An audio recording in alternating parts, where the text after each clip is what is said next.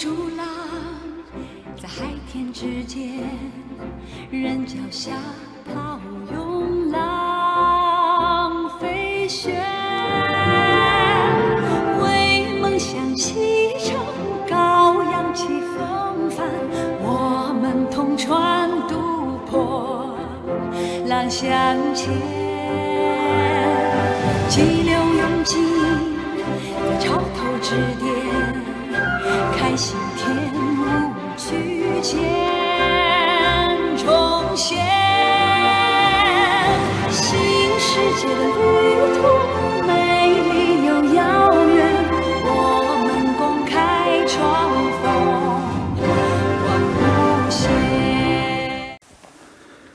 A large scale wave like cosmic disturbance has recently been measured. It has been measured with a gigantic observatory that spans four kilometers in two directions. It is designed to measure changes in the speed of light as the result of disturbances in cosmic space that are said to be gravity waves.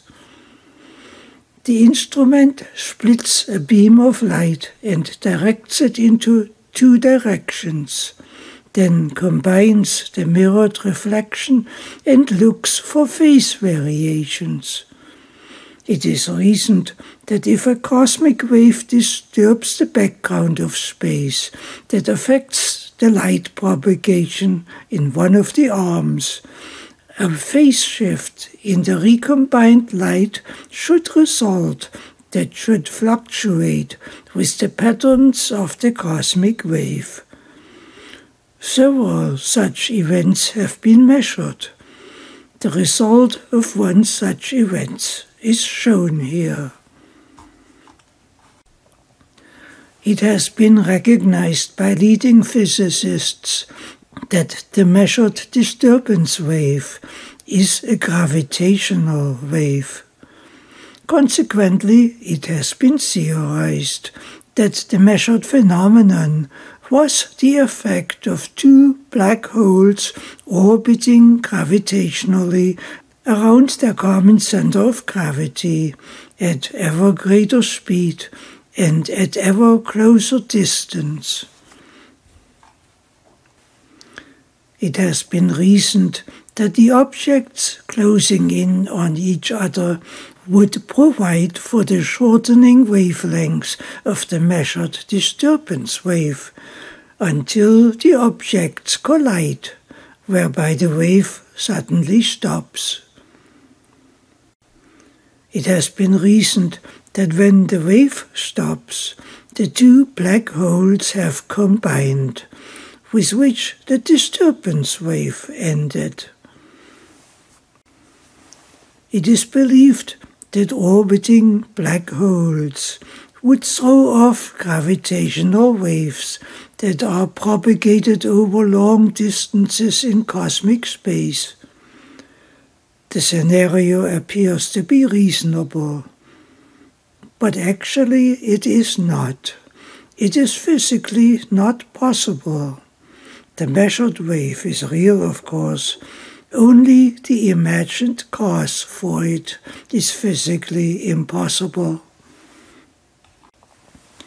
It is tempting to assume that the illustrated scenario is magically possible because, in common experience in the modern space age, Earth orbiting satellites do fall out of their orbits and crash back to Earth. All satellites share this fate unless their orbits are artificially maintained. But if this is so, why hasn't the Earth crashed into the Sun a long time ago in its four billion years of orbiting the Sun? Satellites tend to crash back to Earth in the time frame of a few years. However, the orbiting black holes were deemed to have crashed into each other in as short a time as a single second. So, why do we exist? If black holes crash in the time frame of a second, why hasn't the Earth crashed into the Sun as it should have in its long 4,000 million years of existence? Where did we go wrong? According to the illustrated concept, which is accepted as mainstream theory, we should not exist. The Earth should have been drawn into the Sun a long time ago by the same principle that caused the two theoretical black holes orbiting their common center of gravity to collide into each other. In the illustration, gravitational attraction draws the two massive objects ever closer to each other, while the increasing centrifugal energy of the moving masses counteracts the attraction. It does so not enough to prevent them from colliding. The illustrated principle is a basic principle in Newtonian physics. It is a universally accepted fact. The principle applies to all orbiting objects. It is known as Newton's second law. According to it, we should not exist. So why hasn't the Earth crashed into the Sun by this law over time in its billions of years orbiting the Sun? Obviously, the Earth hasn't crashed. This means that something is basically wrong with the illustrated concept, because we still do exist. If this is the case, do only binary star systems crash? No, binary star systems don't crash either in the real world, as it has been observed. Many binary star systems are known to exist. Their orbits don't collapse. The stars don't crash. So what's wrong with the illustrated scenario? Is Newton's law incorrect? No, the paradox is not rooted in Newton's law. Newton's law is correct. The paradox is rooted in the simple fact that in our modern world, physicists don't believe in physics anymore.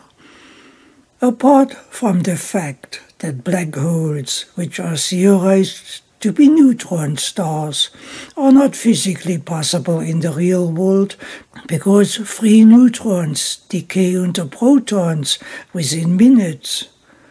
The orbital decay that is illustrated is not physically possible either, even while its principle concurs with Newton's law. Are you confused yet?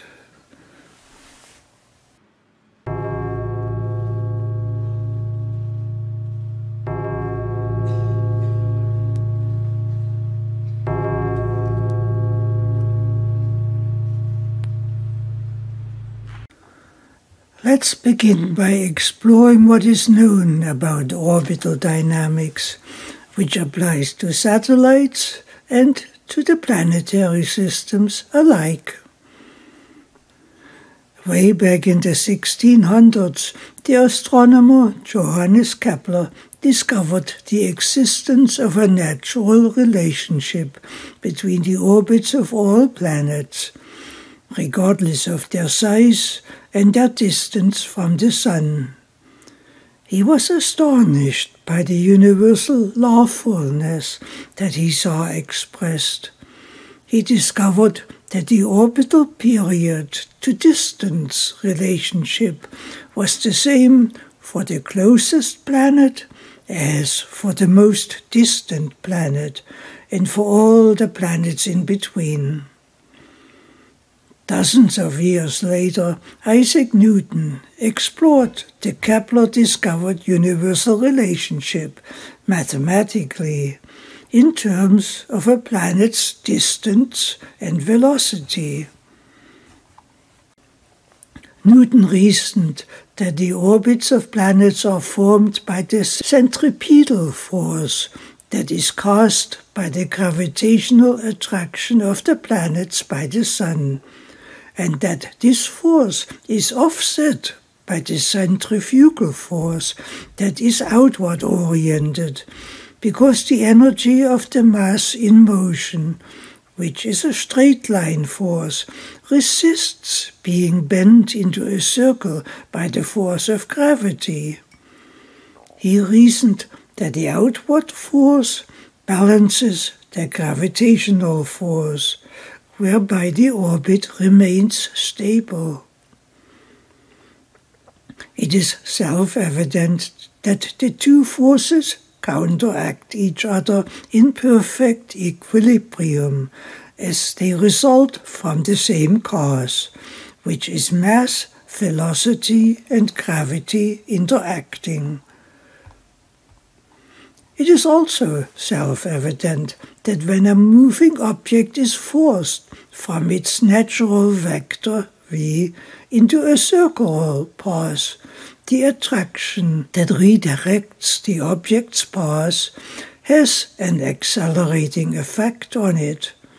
This means that when gravitational attraction is greater than the centrifugal force, when the orbiting object is moving too slowly, as in the case when drag reduces its moving energy, the object's velocity becomes accelerated by the gravitational effect on it, though not enough to maintain the orbit, but to impede its decay. For all practical considerations, the cosmic drag on planets is so minuscule that orbits of planets can be deemed permanently stable and to be affected only by the relationship between distance and velocity in a 10 to 1 relationship.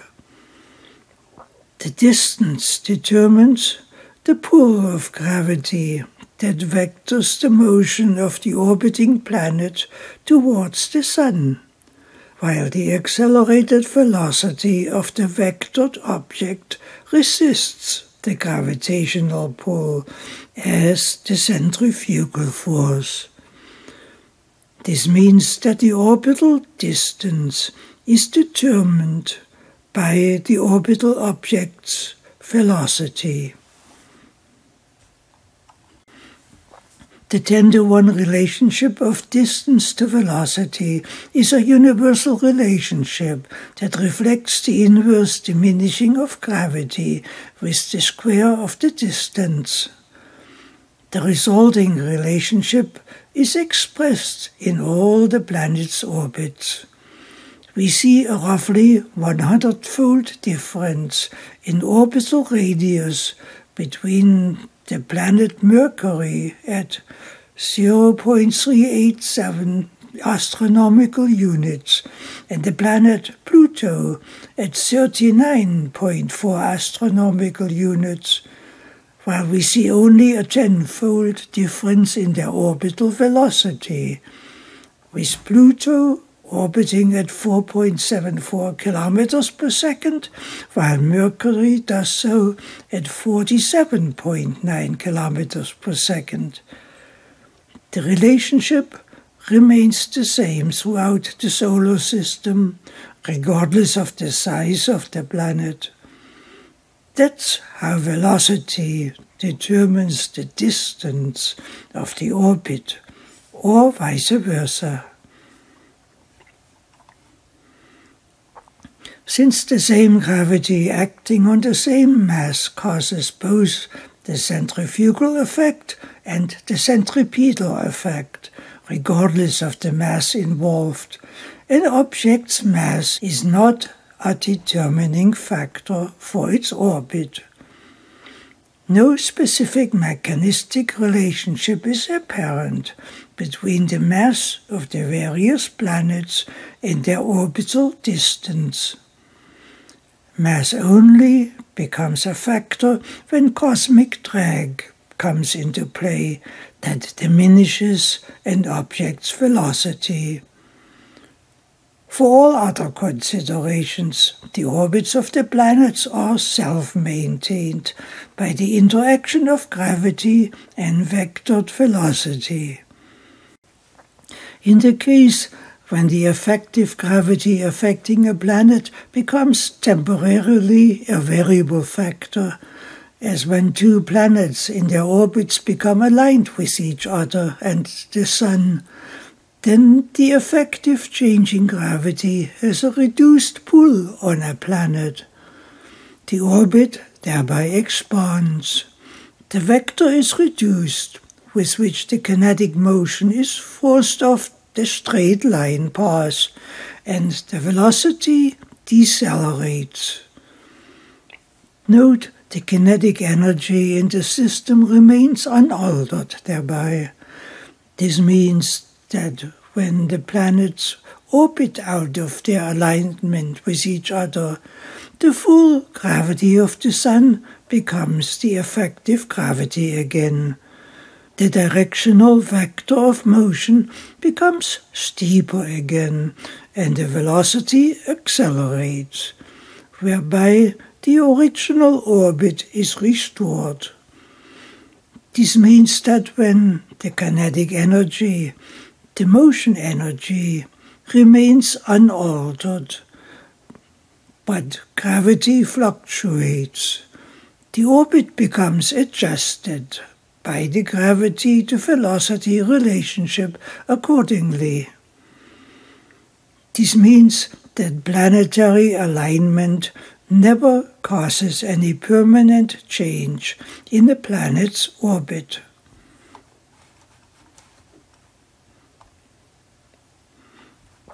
In the example shown here, where the Earth, colored red, is shown located between the Sun and an outer planet, colored blue, the Earth, by its position, is affected by gravity from two different directions, whereby the effective gravity from the Sun is reduced.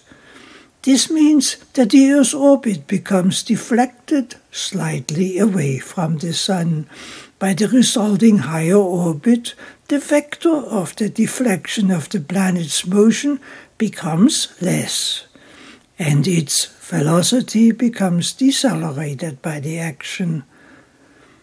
This also means that when the Earth moves away from the alignment with the outer planet, the Sun's effective gravity becomes restored to its previous greater intensity, whereby the Earth's velocity accelerates and resumes its normal orbit.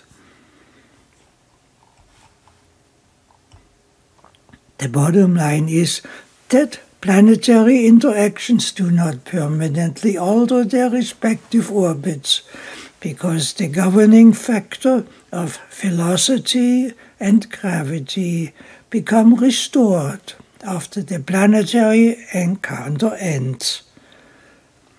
The same principle applies to Earth orbiting satellites becoming affected by the gravity of the Earth's moon the orbits become deflected temporarily, but always become dynamically restored, as determined by the effective gravity and velocity interaction.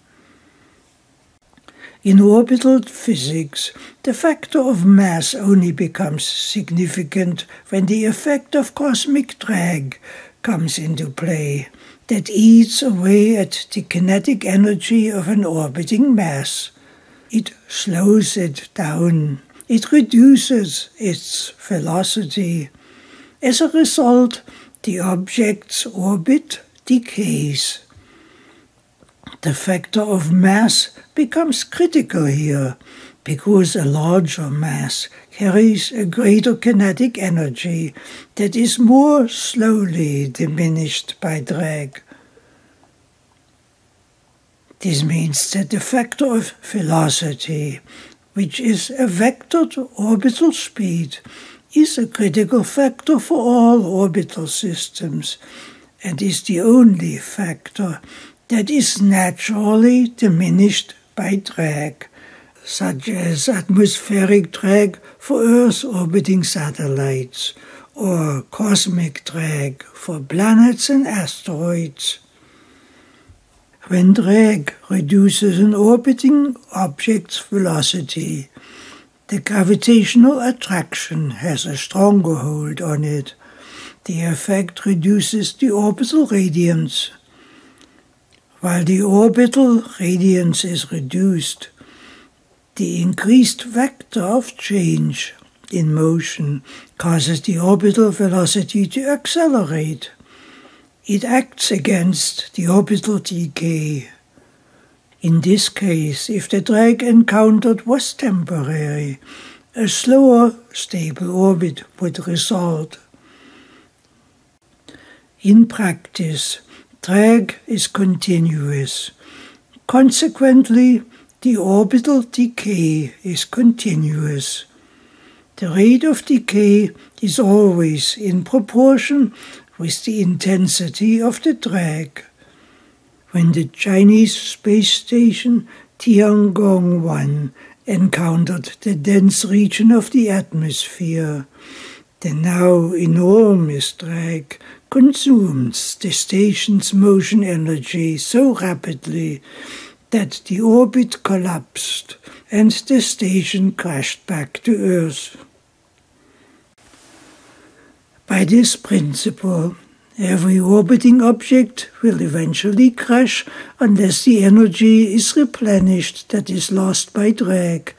And as I said, the rate of this orbital decay is inherently proportionate to the amount of energy being drained by the impeding drag.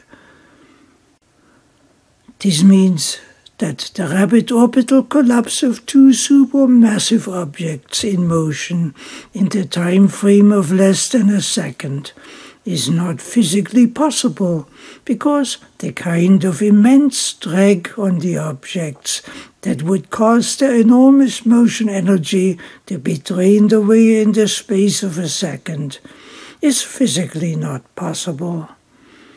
It is only possible in the imagination of a mind that doesn't believe in physics anymore.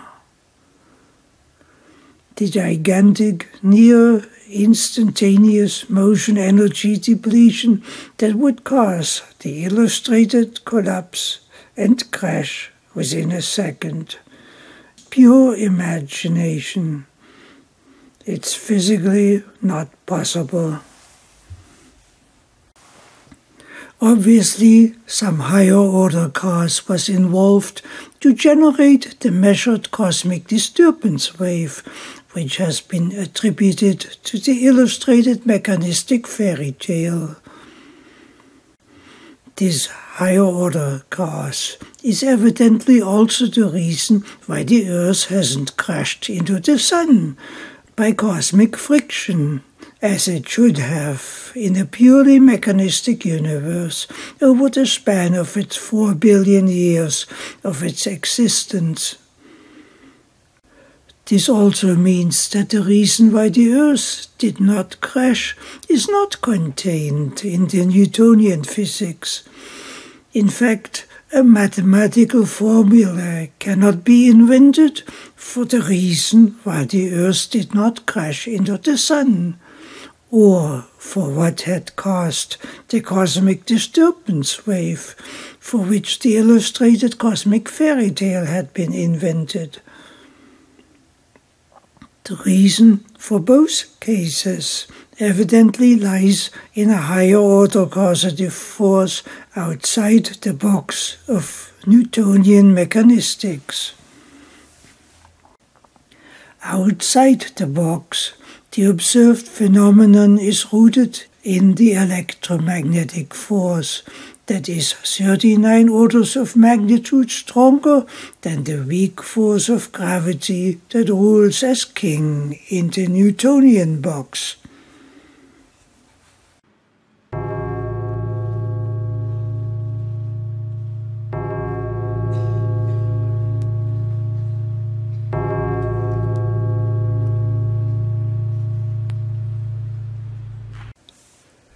Neither is mainstream astronomy able to recognize the reason why the Earth has not crashed into the Sun.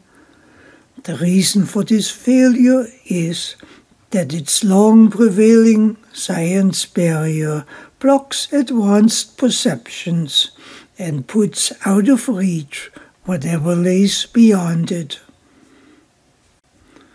The astronomer Johannes Kepler came closest to recognize that something greater is involved in planetary dynamics, which is not the result of mass, gravity, and velocity interaction, which are the factors that define Newtonian physics. He discovered the existence of a principle that operates beyond Newtonian type physics. Kepler discovered a remarkable harmonic progression being expressed in the distance of the orbits of the planets. He likened the progression to the harmonic progression of musical tones. The relationship is so precise that if one plots the distance of the planets on a logarithmic scale and their orbital periods in the same manner, the planets line up in a perfectly straight line. The expressed ordering evidently doesn't happen by chance. Something so precise and universal must have a larger and immensely more powerful organizing principle standing behind it that affects the entire solar system. Kepler had discovered the result of an amazing operating principle, though not the cause for it, that lay far beyond the scientific capability at that time by almost four centuries. The cause for what Kepler had discovered would not be recognizable until cosmic plasma physics opened the door to it, which even now lays still far beyond the science barrier that mainstream cosmology has erected against it.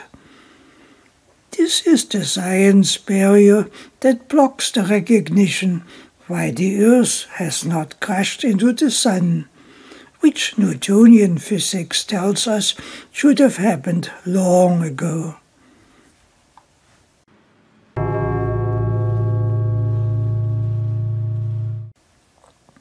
In mainstream science, Newtonian physics is king. Mass, gravity, velocity, and related forces are the only motivating forces recognized. The resulting limited recognition creates a wall that bars the recognition of what lies beyond that barrier in perception. Surprisingly, what it bars comprises 99.999% of the universe. If one steps beyond the barrier, a world comes into view that is motivated by additional forces that are 39 orders of magnitude stronger than the Newtonian forces of mass, velocity, and gravity. We enter the amazing universe of electrons and protons here, existing in free flowing form, termed plasma. Plasma is the name of electrically charged particles named protons and electrons that interact with the electromagnetic force that causes enormous effects to happen that actively shape the universe. Protons carry a positive electric charge and electrons a negative charge. Particles of unlike charge attract each other. This attraction far supersedes the force of gravity. and particles of like charge repel each other, for which no equivalent exists in Newtonian physics.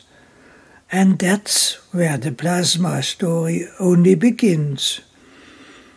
Plasma is not only incomparable with Newtonian physics, but is a type of mass that makes up roughly 99.999% of all the mass of the universe. The 0.001% of the mass that remains is atomic mass, to which Newtonian physics applies. Atomic structures are electrically neutral. In an atom, the positive and negative electric forces are so perfectly balanced that they cancel each other out. This applies to all atomic structures, from the smallest to the largest. The hydrogen atom, for example, contains one proton at its core that carries a positive charge and one electron surrounding it that carries a negative charge. The combination adds up to a zero electric effect. The largest atom, the uranium atom, contains, in contrast, 92 of each. But again, the combined electric effect adds up to zero.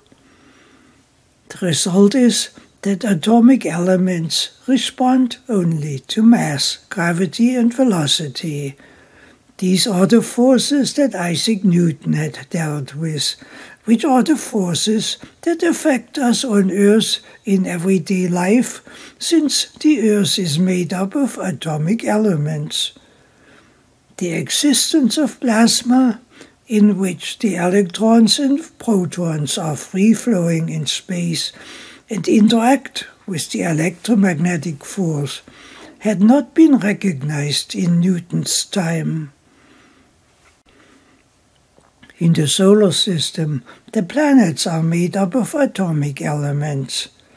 Newtonian physics thereby applies to the planets to a large degree, but the Sun is different. It is made up of plasma.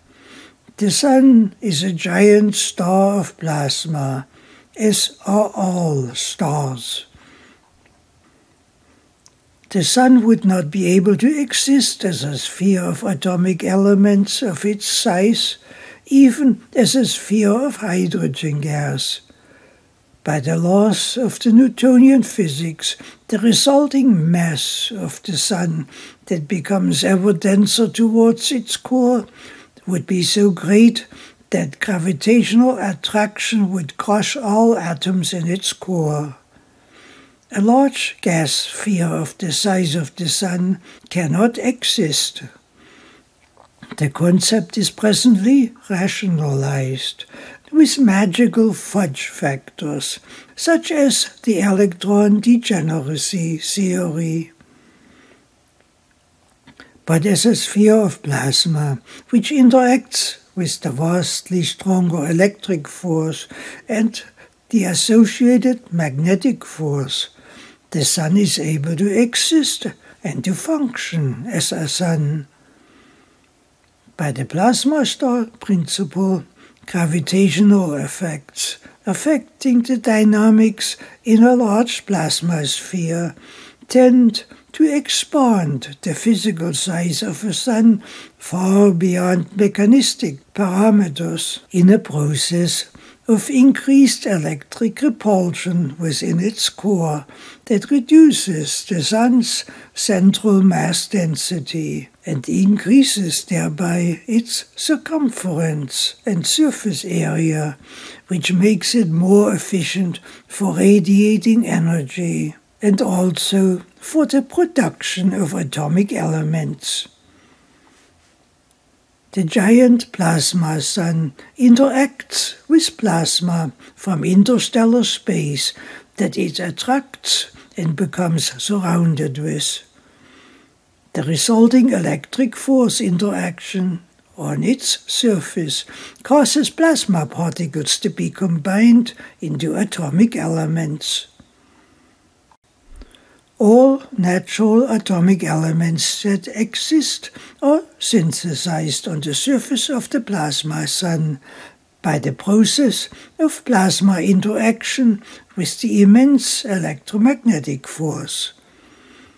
The planets that orbit our sun are accumulation of the synthesized atomic elements that were dynamically produced by the sun and continue to be produced. The planets are therefore the only large-scale atomic structures in the solar system. Their mass is extremely minuscule in comparison with the Sun. All the planets combined add up to a mere 14 one hundredths of a percent of the mass of the Sun. The electrically neutral synthesized atomic elements flow away from the sun in the flow of the solar wind. But not all atomic elements are equal. Some are light, some are heavy, with the atomic elements being electrically neutral. Newtonian physics comes into play again. The heavy elements that flow from the sun are the first to fall out, being attracted by gravity. They are attracted by the gravity of the mass of the heliospheric current sheet that extends from the Sun for a long distance, which also makes up the ecliptic of the planet's orbits. The planets orbit in this ecliptic space because they were born there, each with its own unique makeup that reflects the fallout pattern of the atomic elements flowing from the Sun. The heliospheric current sheet evidently plays a big role in the forming of the planets and their alignment with it that creates the ecliptic. The heliospheric current sheet extends from the Sun all the way to the heliosphere, which is a shell of plasma that surrounds the solar system at a distance roughly 100 times the distance from the Sun to the Earth. That's the distance where the solar wind ends up. The heliospheric current sheet extends between the two with an inflowing plasma current. The heliosphere is a shell of plasma inflated by the solar wind pressure. It is also a part of a still larger electromagnetic structure that focuses interstellar plasma in the form of a concentrated stream of plasma onto the Sun. The flow in the heliospheric current sheet is inward oriented towards the Sun. Here it becomes interesting. With the current sheet being circular, centered on the Sun, the current density is increasing in a geometric progression as it flows towards the Sun. This geometric progression has a critical effect on the planets as their orbits are aligned with the current sheet. Here, another principle in plasma physics becomes important. When an electric current is flowing in two parallel wires in the same direction, the wires are attracted by the magnetic field that the current flow creates around the wires. The attracting force is called the Lorentz force. When plasma is flowing in space, magnetic fields are likewise created by the electric flow, which draws all the flowing plasma particles towards each other, into an ever tighter stream. As the stream becomes more dense, the magnetic fields become increasingly stronger. Eventually, the plasma stream is forced backwards into an extremely high concentration.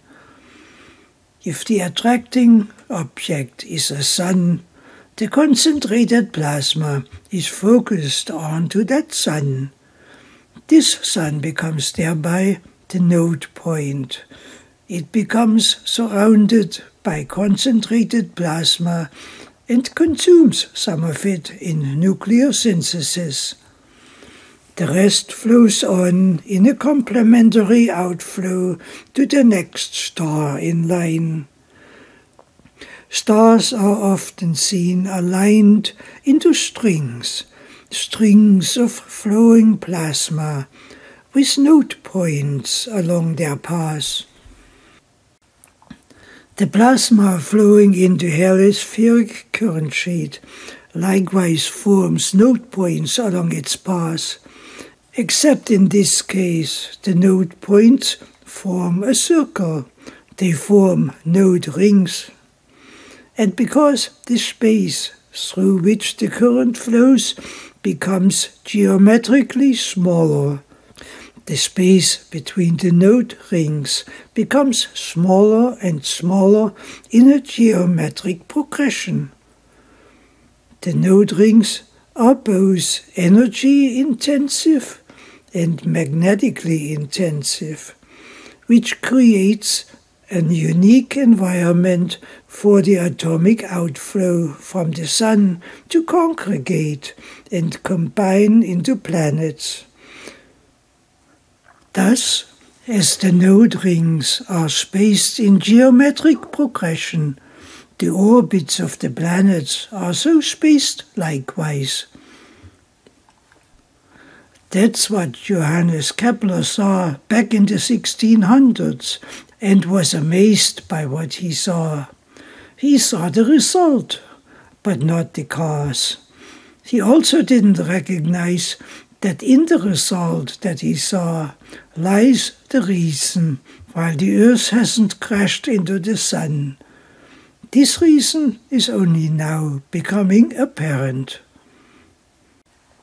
The reason is that the same electrodynamics principle that have caused the planets to be formed in line with the node rings actively maintains the orbits in this alignment.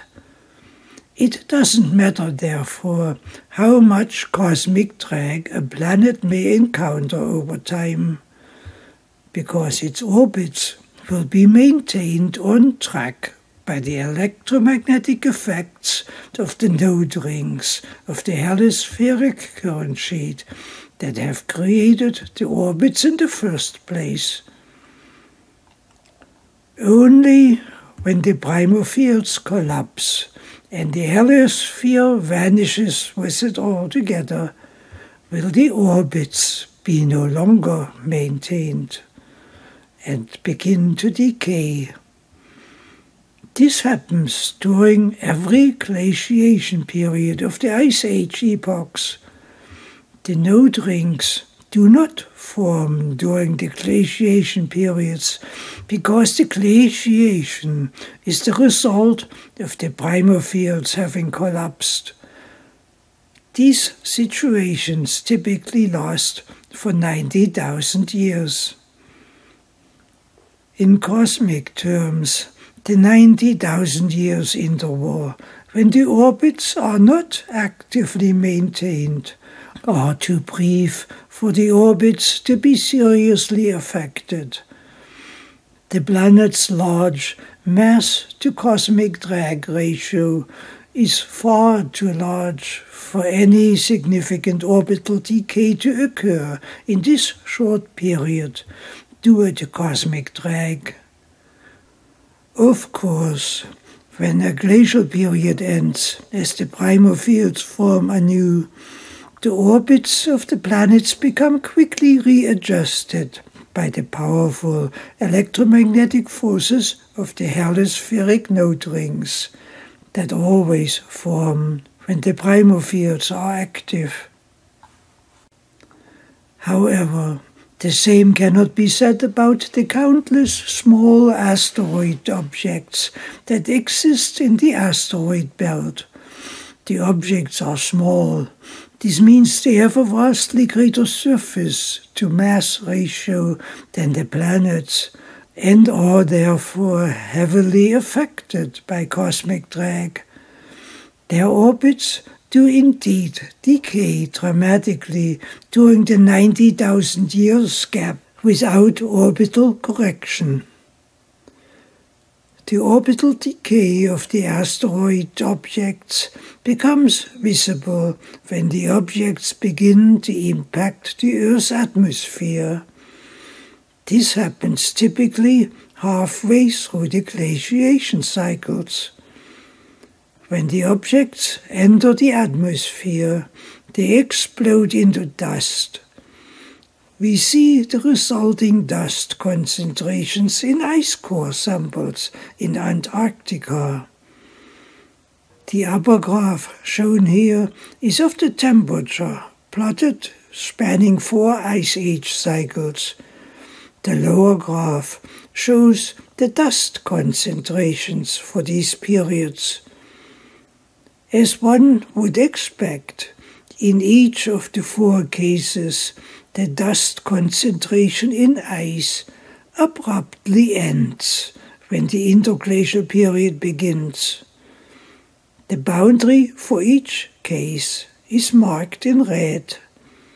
Past the red boundary, the orbits are supported again electrodynamically and the dustiness ends abruptly.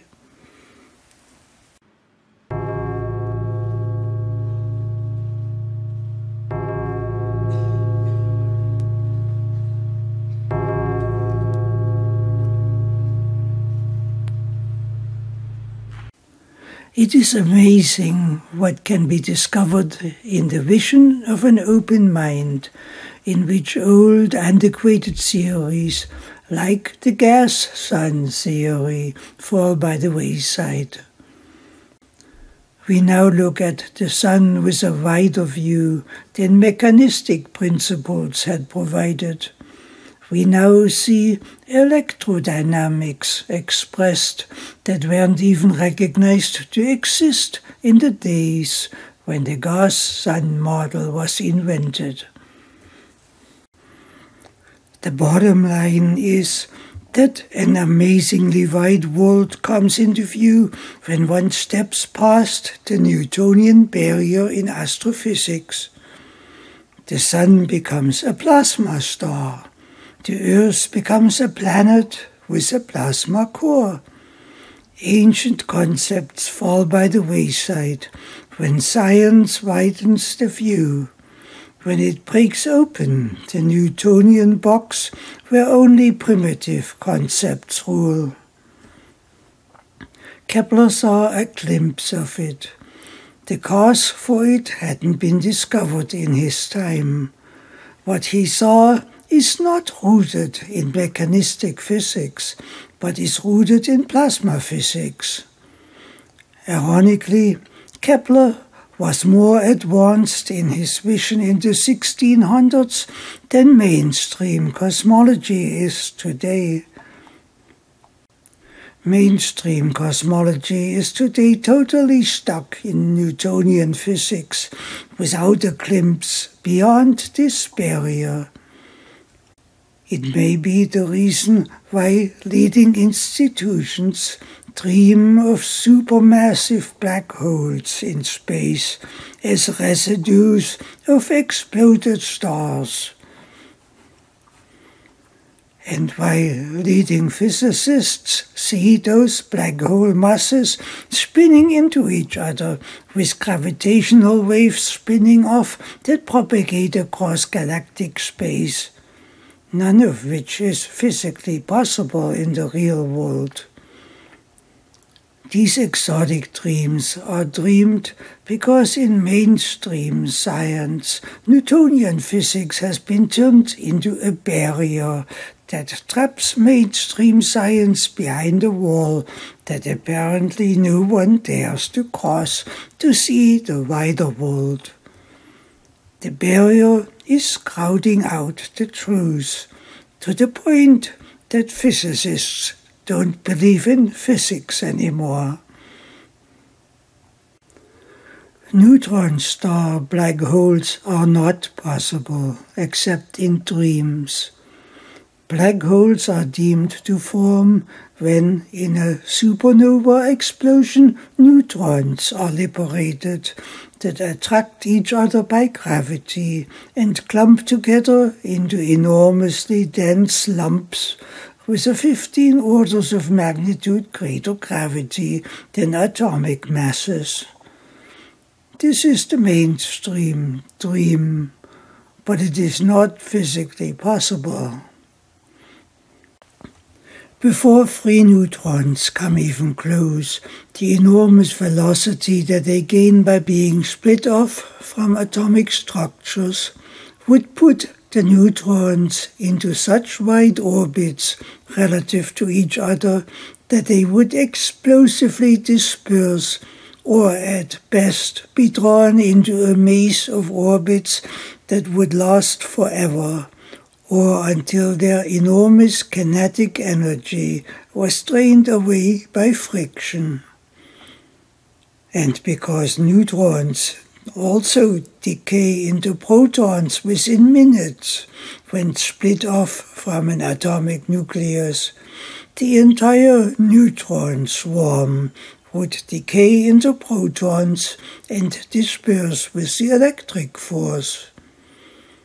Black holes are simply not possible in the real world. Even Newtonian physics makes this plain. Black holes are only possible in the dreaming of physicists who don't believe in physics anymore. That's why the gas sun theory is hailed in the box of mainstream science. The gas sun theory is only possible in a mind that doesn't believe in physics anymore. The rational mind sees a paradox in the sunspots. Sunspots are dark spots on the sun, but they should be bright if the sun is heated from the inside. Physicists who don't believe in physics anymore ignore this paradox. They look to Newtonian physics as a way out and dream up gravitational interaction of atomic elements that by their nature are electrically neutral to which Newtonian physics applies. They envision a process of nuclear fusion caused by heat generated by gas compression. Except the envisioned process doesn't work in practice. Scientists said that if the sun can produce power by gravitational compression to cause nuclear fusion, so can we. But it doesn't work. The world record is a one second fusion burn before the process blows itself out. And this world record was achieved with a tenfold energy loss instead of an energy gain. And so it should be, because nuclear fusion is an energy consuming process the giant National Ignition Facility, a technological marvel the size of a sports stadium, never achieved fusion at all. The facility employs 192 large scale laser beam lines to create 500,000 gigawatts of light energy. The immense energy burst is forced onto a fuel target the size of a pea. It is focused onto it from numerous directions simultaneously in order to compress and heat the fuel. But nuclear fusion has never been achieved by this facility. The process failed because the facility doesn't play with power. It plays with Newtonian parameters, mass and velocity, instead of with the electromagnetic force that is up to 39 orders of magnitude stronger. The plasma sun, in contrast, does play with power. It employs those electromagnetic forces that are er 39 orders of magnitude stronger than the Newtonian forces. With these being effectively deployed, the solar process has a workable foundation, and it does work. The barrier here is that it is not recognized to exist. Only the false model, the Newtonian based gas sun model, is recognized in mainstream science. The resulting failure in perception erected a barrier that has blinded science against the real world. This barrier has become immensely costly for society on three fronts simultaneously on the global warming front, the energy front, and the ice age front.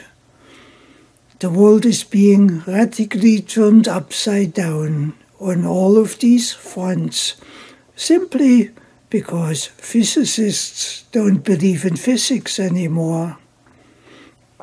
On the man made global warming front, society is trapped into a doctrine that demands the mass burning of food as biofuels at the cost of the largest ever Holocaust unleashed against humanity by starvation. On the energy front, it blocks humanity creating itself an energy rich future.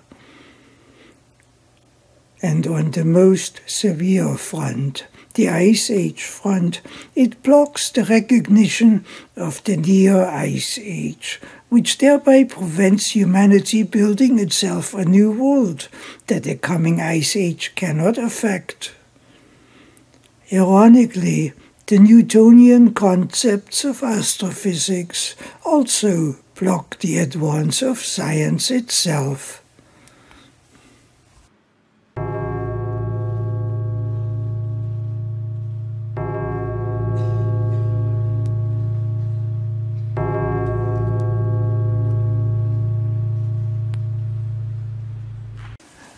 While the illustrated merging of black holes at the beginning of this video is not possible in the real world, the imagined concept is derived from actual physical measurements. The measurements were made by the gigantic observatory that measures light speed variations caused by wave-like cosmic disturbances. The wave-like variations that are illustrated here are deemed the result from a gravity wave, as gravity is one of the kingpins in Newtonian physics, with nothing past the barrier being deemed to exist. While the measured wave phenomena is not possible within the realm of Newtonian physics, it is readily possible in the wide world behind the barrier as the result of plasma interaction. The measured wave phenomenon is attributed to black holes spinning into each other because no other option remains in sight within the branch of physics that cannot see further than gravity, mass, and velocity interaction. But when this blinding barrier is removed, not only does the solar system come to light in a more beautiful and rational manner, but also the universe as a whole. For example, the measured phenomenon of a cosmic wave affecting the speed of the propagation of light is not an enigma when one looks beyond the Newtonian barrier. When one looks beyond the barrier, the observed wave phenomenon is much more rationally recognized as having been caused by large rotating plasma streams merging into one. Plasma streams rotate internally and are drawn readily to each other when flowing in parallel. In high powered experiments at the Los Alamos National Laboratory in the USA, it has been discovered that high energy plasma streams can be made up of a ring of 56 individual plasma filaments that naturally combine into 28 filaments, then 14, seven, and so on, all the way to potentially just a single one. In the combining of major plasma streams, very large plasma events could potentially cause an energy wave effect that ripples through the energy background of the universe in a similar manner as photons of light are propagated across this background at the speed of light. This means that the theorized black holes are not required for the observed phenomenon, nor their collapsing orbits. Neither would the result be a gravity wave.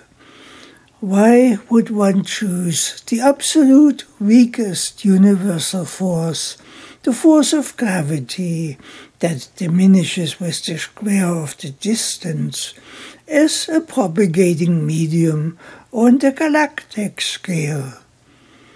The paradoxical outcome happens only when one cannot see beyond the barrier that hides from sight what lies behind it where a vastly bigger world unfolds, a world of plasma, electric forces, and an energy background that governs the speed of light. The physicist David Bohm, whom Albert Einstein had referred to as his successor, saw apparently empty space as a teeming background of energy with an implicate and explicate order that is recognizable by observable effects. The barrier that blocks the scientific recognition of anything beyond small minded concepts has become a tragedy in modern time in far too many different ways. The barrier against science has led to the self inflicted tragedies far greater in scope than society cares to acknowledge. It enables the man made global warming doctrine that inflicts enormous economic destruction with its baseless crusade against carbon gases and inflicts the greatest ever holocaust against human living with the mass building of food in a starving world under the biofuels mandate that is murdering upwards to 100 million people a year with the sword of induced starvation. All this stands in stark contrast with the greatest ever revolution for human development that unrestrained science would provide the potential for in scientific, technological, industrial, humanist, economic, and cultural process with boundless freedoms in physical living. All this is presently being prevented, with the destruction of civilization being promoted instead, by small minded thinking on a scale that boggles the imagination. As I said before, the doctrine of man made global warming is one of the resulting tragedies caused by the barrier that blocks the scientific recognition of anything outside of small minded concepts. The invented doctrine of man-made global warming attributes all climate changes on Earth to carbon gases and closes the door to any recognition beyond that, which would free society from this trap. With the blocked recognition of what is real, great danger begins because society's trapped perception entices it to wreck its economy in order to roll back carbon in the air, which is actually the foundation for its living, that is presently carbon intensive.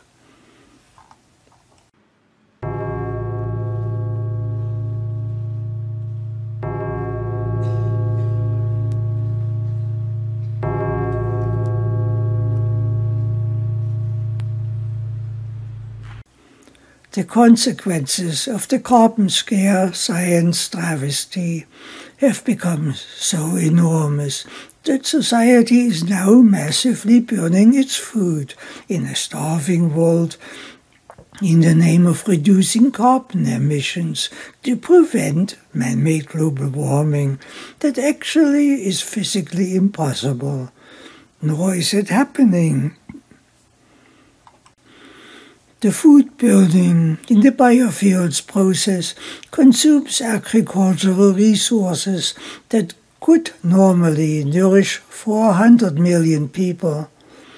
In a world that has a billion people living in chronic starvation, the massive food burning adds up to at least 100 million people being murdered by starvation every year, intentionally in the largest fascist Holocaust in history. And all this is the result of the small minded barrier that blocks reality from science so intensively that physicists don't believe in physics anymore. If scientists would extend their vision beyond the limits of their accepted barriers, they would recognize that humanity's carbon contribution to the global atmosphere affects the climate no more than a cat in comparison with the World Trade Towers that once stood in New York. If scientists would see beyond their barrier at the real world, they would recognize that the sun is the master of the climate on Earth, vastly more so than the carbon cat could ever be. The CO2 carbon gas that is targeted for elimination at horrendous cost is actually smaller than a cat. Its absorption coefficient is 10 times smaller than that of water vapor, and its density in the air is 100 times less. And in addition, the carbon dioxide response spectrum is narrow and quite rare. It is vastly overshadowed by the big greenhouse contributors which are water vapor, oxygen, and the Rayleigh scattering effect. Now compare the carbon dioxide response with all the other effects and keep in mind that the CO2 contribution is 10 times weaker and that CO2 is 100 times less dense than water vapor that produces 97% of the greenhouse effect which in turn is controlled by the sun, then the total carbon contribution to the greenhouse effect is actually smaller than a mouse on the global scale. Then consider further that the human contribution to the atmospheric carbon budget adds up to a mere 3% at the most. By this recognition, the man-made mouse shrinks down to the size of a beetle. In this wide-ranging comparison, the carbon cat is effectively no larger than a beetle on the sidewalk beside the World Trade Towers. In real terms, the greenhouse effect of the Earth's atmosphere is rapidly diminishing because a weaker sun emits larger volumes of cosmic ray flux that increases cloud formation and reduces water vapor in the air. The point is, we need a stronger greenhouse that moderates climate fluctuations, not a weaker one. Unfortunately, we lack the power to compete with the effects of the sun on our climate or to alter them. It would be wonderful if we had this power, but we are far outclassed on the cosmic scale. The sun is the climate master on Earth. We have no power against it. The only power we have is to build us the technological infrastructures that enable our continued existence in the coming ice age environment when the sun's radiated energy is reduced by 70%. We have the power to build us a new world that enables us to live in the coming ice age climate when the livable world shrinks to the tropics.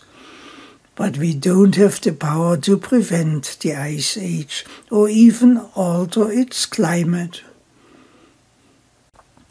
Also, if scientists would really open their eyes, they would instantly recognize that the real carbon crisis that humanity is facing is actually a crisis of deficiency. The CO2 concentration in the atmosphere is presently at the lowest level since life began. CO2 is absolutely critical to sustain life. It is consumed by the plants which are the foundation for our food supply. And it is dissolved in the oceans and sustains the food chain there. Life flourished in the early periods when the CO2 concentrations were wonderfully high, up to 20 or 30 times as high as they are today but it also diminished sharply when life developed in leaps and bounds. The CO2 was consumed so rapidly that around 300 million years ago there was so little of it left that life diminished with it, apparently by carbon starvation and eventually by glaciation climates. The world's big coal fields that we utilize today originated in this time frame that started with high levels of CO2 concentration in the atmosphere, but then diminished at a high rate of depletion. Fortunately for us, the CO2 level was uplifted twice once during the Permian period and once during the Jurassic period, apparently in both cases by the sun. However, in both cases, the CO2 level diminished again. It diminished to the extreme low level that we have today. That's less than half of what it had been during the devastating low 300 million years ago. We live in a world that is biologically starving. We should celebrate every bit of CO2 uplift that we can manage to achieve. Moreover, we should build large-scale infrastructures to extract some of the large stores of CO2 back out of the ocean, where 98% of the world's CO2 is located. We should raise the atmospheric CO2 level tenfold to lift the biosphere out of its starvation mode. We can do this. We can uplift the CO2 concentration in the atmosphere tenfold without affecting the climate because CO2 is no bigger as a climate factor than is a cat in comparison with the World Trade Towers that once dominated the New York landscape. Even if the carbon cat would be overnourished to become a horse, it would still remain insignificant on the global scale.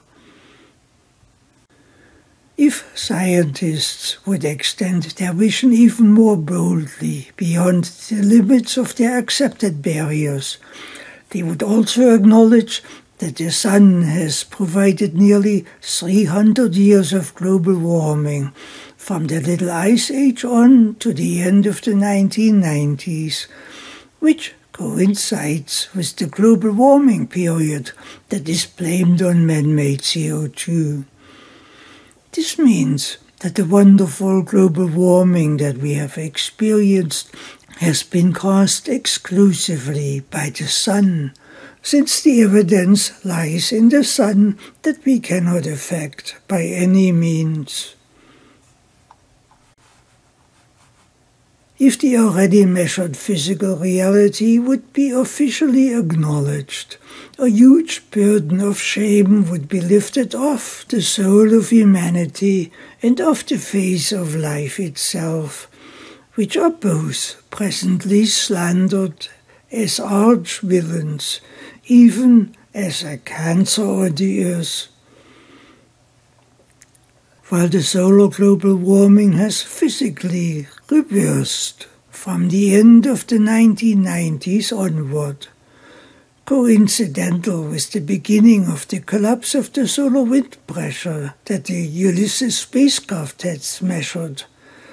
Mainstream science remains stuck, blocked by its iron wall that turns carbon into a fire breathing dragon that must be abolished at all cost, so they say.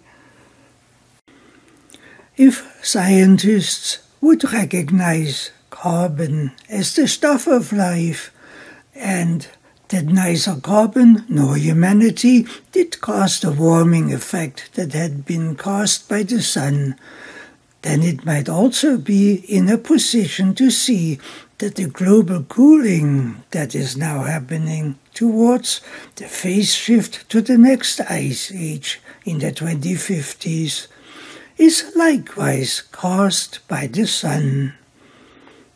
The failure to make the type of recognitions and acknowledgments that would uplift the face of humanity is a failure in the mind that results from subscribing to barriers in science that prevent the recognition of what lies beyond the small minded limits of perception.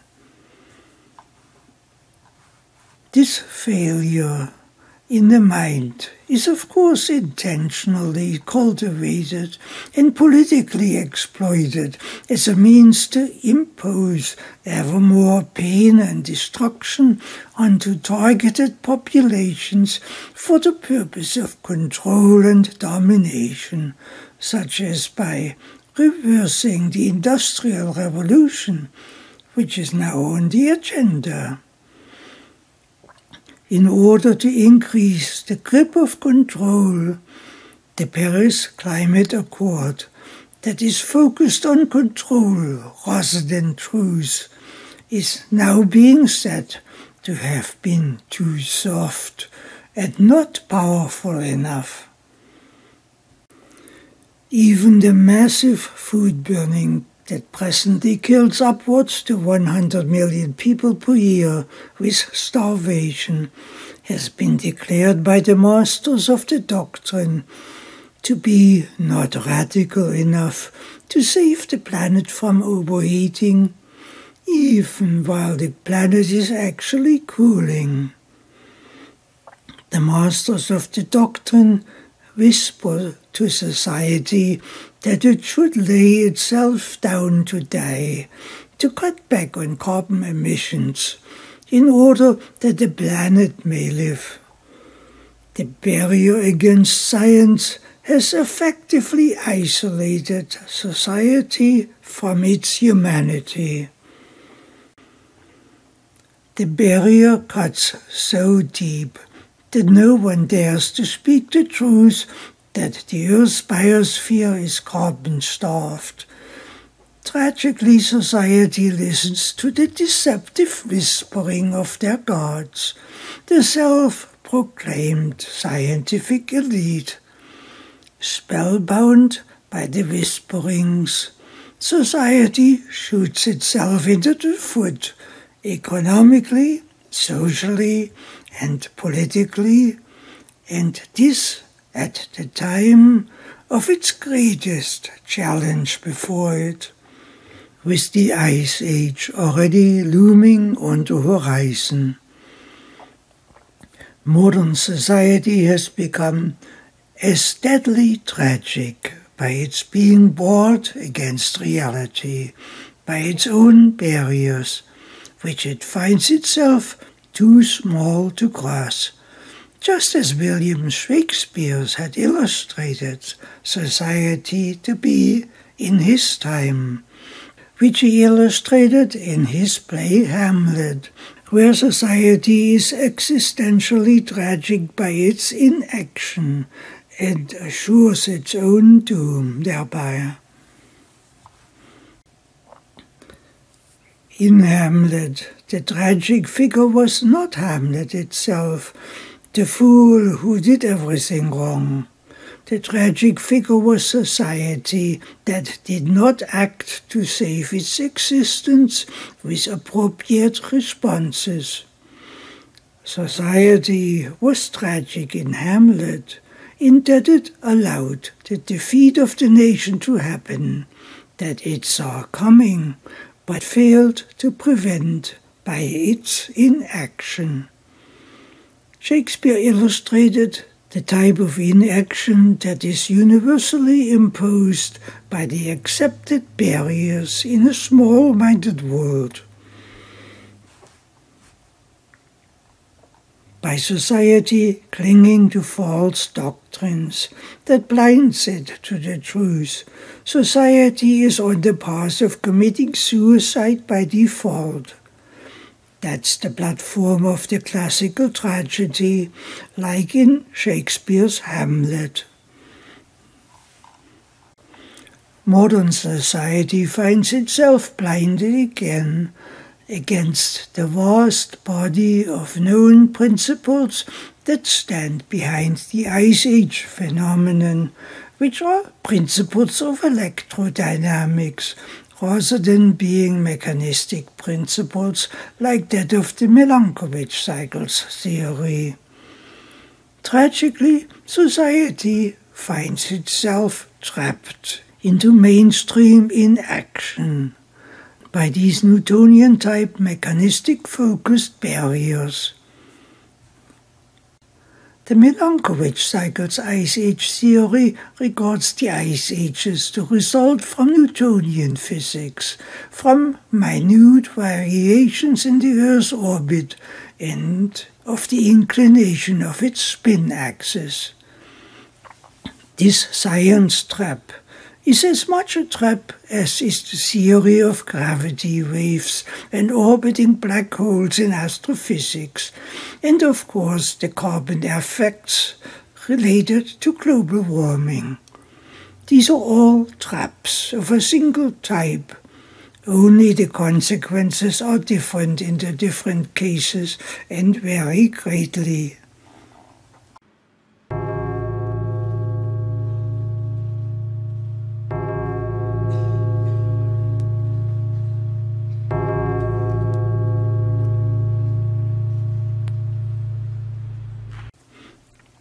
Failures in perception in the field of astrophysics appear to be inconsequential.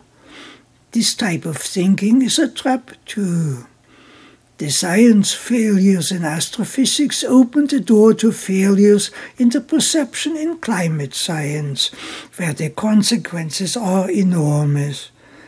And of course, the failures of perception in the climate science opens the door to failures of perception in the Ice Age science, where the consequences are existentially total.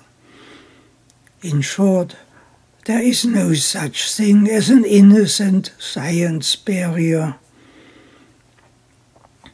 If the Ice Age phase shift happens without a new world having been built to support continued human living, humanity will likely crash if its orbit is not supported and fade into oblivion.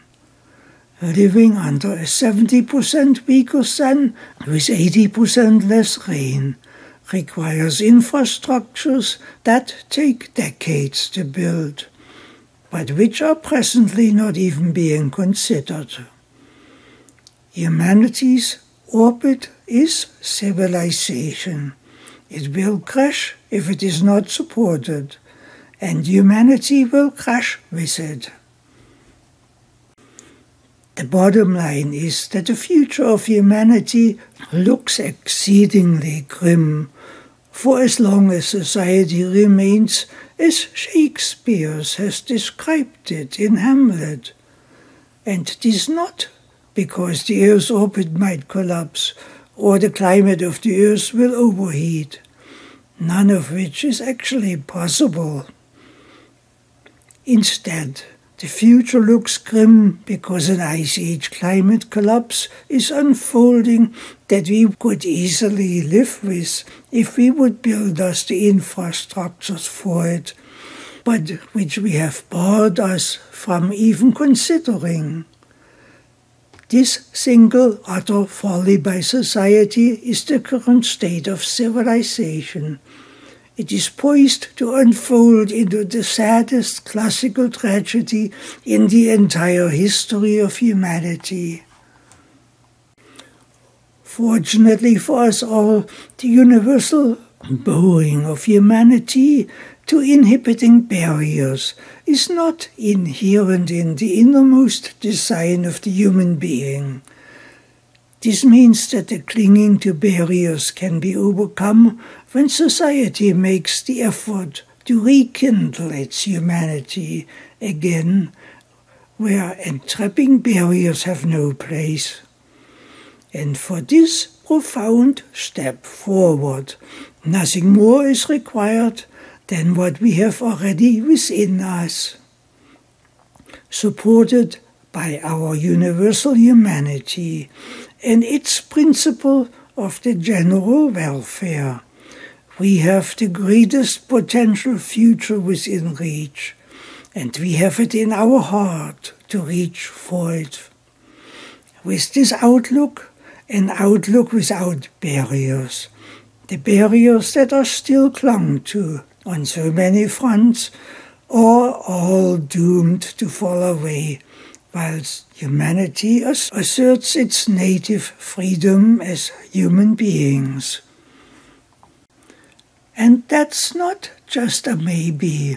The movement has already begun to step beyond the barriers it began faintly in 2009 as a daring venture to step across the political barricades of cultivated ignorance that protect and uphold the systems of empire that have historically showered humanity with wars, slavery, corruption, looting, entrapment, and economic destruction.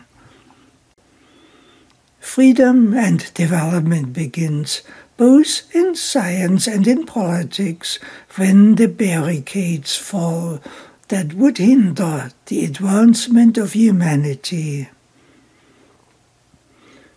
We already see a new world emerging on the political front in which we find ever more nations cooperating with one another freely for their common welfare and mutual development. The same is possible in the sciences. The tide appears to be turning, and not feebly and spasmodically, but proudly and celebratory, and with a vision of a future that inspires optimism, peace and joy and power. How long it will take from the bold beginning for all the dusty barriers to become dissolved for the greater welfare of humanity cannot yet be determined, but the movement has begun, with the human spirit uplifting the entire scene, uplifting even the sciences, especially in physics, astrophysics, climate science, geophysics, ice age science, and even political science. While we have a long way yet to go till the future is no longer obscured in the world, it can be said with certainty today that we are out of the starting gate. Small minded barriers are fading. The race of peace, joy, and power is in the process of unfolding before us. On this path, we will have a future and potentially the greatest ever imagined.